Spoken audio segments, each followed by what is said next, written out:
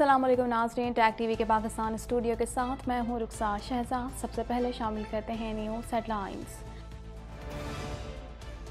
तो तुर्क सरमाकार पाकिस्तान में वसी मौाक़े से भरपूर फ़ायदा उठा सकते हैं। वज़ी अजम कहते हैं, पाकिस्तान तुर्क ताल्लुक सियासी तब्दीलियों से बालातर हैं। पाकिस्तान के असूली मौक़ ही हिमायत पर तुर्क क्यादत के मशहूर हैं। मंशियात बरामदगी केस में राना सनवल्ला फर्द जुर्मायत करने के लिए तलब। 25 जून केस की समात के लिए मुकर्र अदालत ने गुजशत समात का तहरीरी हुक्मनामा जारी कर दिया।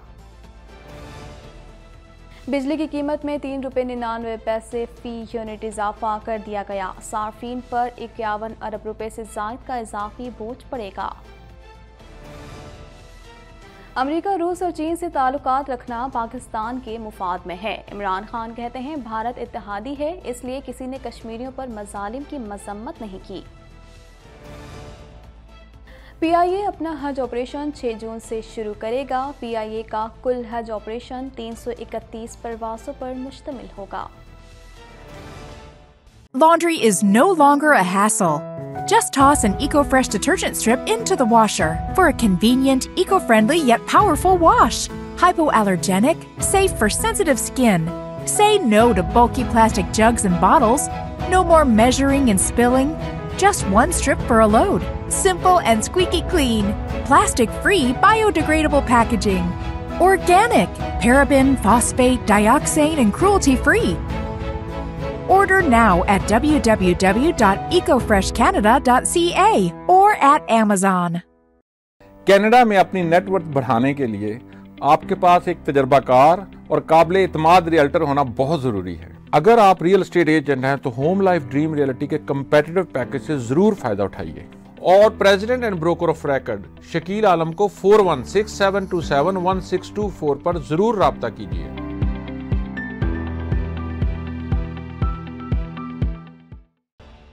वज़ी अजम शहबाज शरीफ ने कहा है कि पाकिस्तान और तुर्की के माबैन तजारती हजम बढ़ाने के वसी इम्कान मौजूद हैं।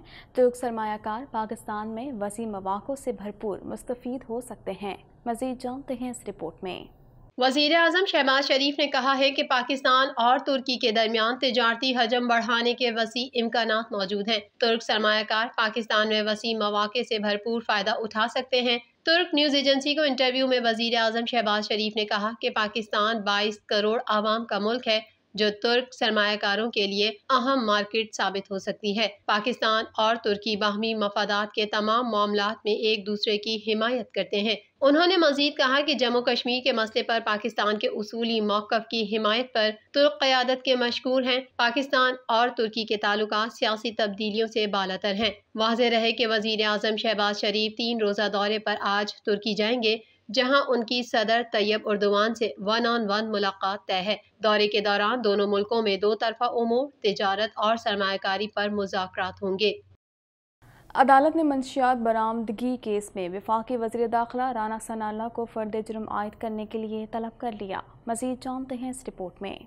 वज़ीर दाखिला राना सनाउल्ला के खिलाफ मंशियात बरामदगी केस में बड़ी पेशरफ सामने आई है। अदालत ने राना सनाउल्ला को फर्द जुर्म आयद करने के लिए तलब कर लिया और 25 जून को केस समात के लिए मुकर कर दिया। अदालत ने गुजशत समात का तहरीरी हुक्मनामा जारी कर दिया, जिसके तहत अदालत ने राना सनाउल्ला की प्रॉपर्टी और बैंक अकाउंट्स खोलने की दरख्वास्त पर ए एन एफ़ से जवाब तलब कर लिया। राना सनाउल्ला की हाजिरी से मुस्तकिल मौजरत की दरख्वास्त पर वोकला आइंदा दलाइल ने तहरीरी हुक्मनामे में मजीद कहा गया है कि राना सनाउल्ला के शरीक मुलजिमान ने फर्द जुर्म आयद न करने की दरख्वास्तों को वापस लिया। अदालत ने दरख्वास्तों को वापस लेने की बुनियाद पर मुस्तरद कर दिया। राना सनाउल्ला की अदम हाजिरी पर उनके वकील ने मौकफ दिया कि विफाकी वज़ीर दाखिला होने के बायस उन्हें इस्लामाबाद में जल्दी जाना है इसलिए वो पेश नहीं हो सके।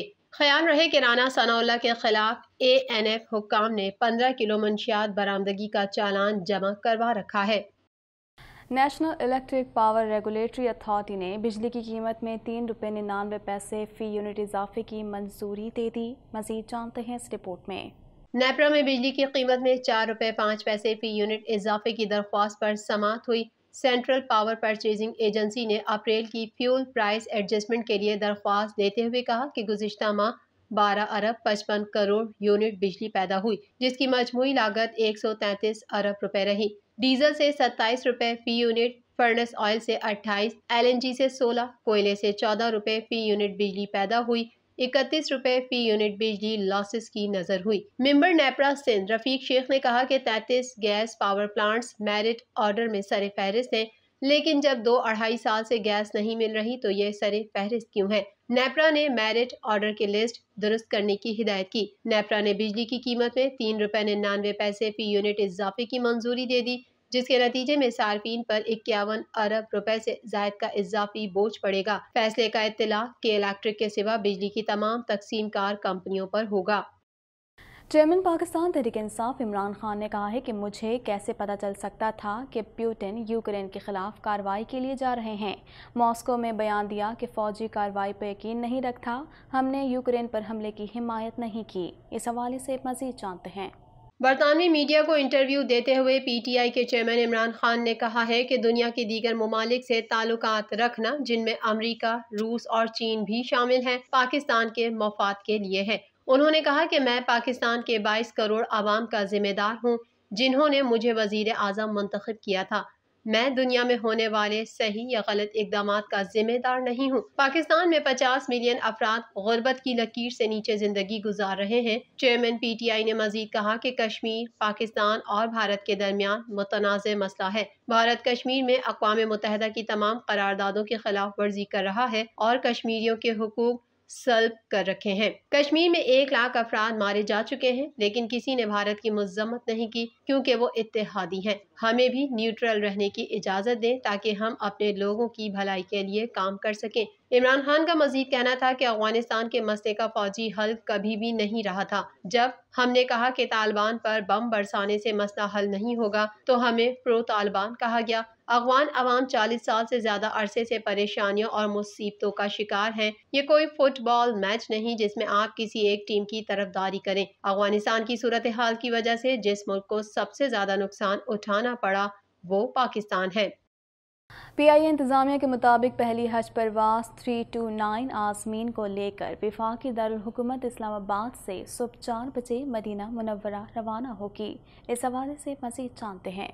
कौमी एयरलाइन ने अपना हज ऑपरेशन 6 जून से शुरू करने का फैसला किया है। पी आई ए इंतजामिया के मुताबिक पहली हज परवाज तीन सौ उनतीस आजमीन को लेकर विफाकी दारकूमत इस्लामाबाद से सुबह चार बजे मदीना मुनवरा रवाना होगी। पी आई ए पंद्रह हज़ार सरकारी स्कीम के तहत इस्तेफादा हासिल करने वाले आजमीन हज को लेकर जाएगा, जबकि प्राइवेट ऑपरेटर्स के अठारह हज़ार हजाज कराम पी आई ए का इंतखब करेंगे। कबल कबलस हज की परवाजें छः जून से तीन जुलाई तक ऑपरेट होंगी, जबकि बाद हज की परवाजें चौदह जुलाई से शुरू होंगी और तेरह अगस्त तक जारी रहेंगी। पी आई ए का कुल हज ऑपरेशन तीन सौ इकतीस परवाजों पर मुश्तमिल होगा। पी आई ए पाँच बड़े शहरों इस्लामाबाद, कराची, लाहौर, मुल्तान और कोयटा से आजमीन को हजाज मुक़दस पहुँचाएगी। सी ई O P I A operation की खुद निगरानी करेगी। वज़ीर हवाबाजी ने ऑपरेशन को हजाज कराम की सहूलत को मद्देनजर रखते हुए तरतीब देने की हिदायत जारी की हैं।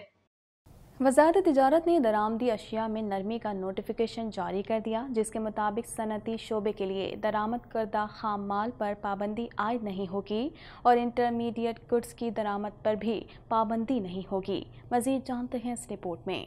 विफाकी हुकूमत ने दरामद अशिया पर आयद पाबंदी में नरमी कर दी। वजारत तजारत ने दरामदी अशिया में नरमी का नोटिफिकेशन जारी कर दिया, जिसके मुताबिक सनती शोबे के लिए दरामद करदा खाम माल पर पाबंदी आयद नहीं होगी और इंटरमीडिएट गुड्स की दरामद पर भी पाबंदी नहीं होगी। नोटिफिकेशन में बताया गया है कि 19 मई को दरामदी अशिया पर आयद पाबंदी की लिस्ट में खाम माल, मशीनरी और आलात भी शामिल थे। ताहम अब सनती आलात मशीनरी और फॉरेन ग्रांट के तहत चलने वाले मंसूबों के मटीरियल की दरामद पर पाबंदी आयद नहीं होगी। हुकूमत ने मुल्क की तेज़ी से बिगड़ती हुई मीशत को सहारा देने के लिए मौशी एमरजेंसी की बुनियाद पर लग्जरी गैर मुल्की अशिया की इम्पोर्ट पर मुकम्मल पाबंदी आयद की है। हुकूमत ने जिन अशिया पर पाबंदी आयद की, उनमें mobile phones, home appliances fruits और ड्राई फ्रूट्स, क्रॉकरी, प्राइवेट असलहा, जूते, फानूस और लाइटें, हेडफोन्स और लाउड स्पीकर्स सॉसेस कैचअप, दरवाजे और खिड़कियों के फ्रेम्स और दीगर इम्पोर्टेड आइटम्स शामिल हैं। मजीद खबरें भी बुलेटिन का हिस्सा होंगी, मगर इस ब्रेक के बाद।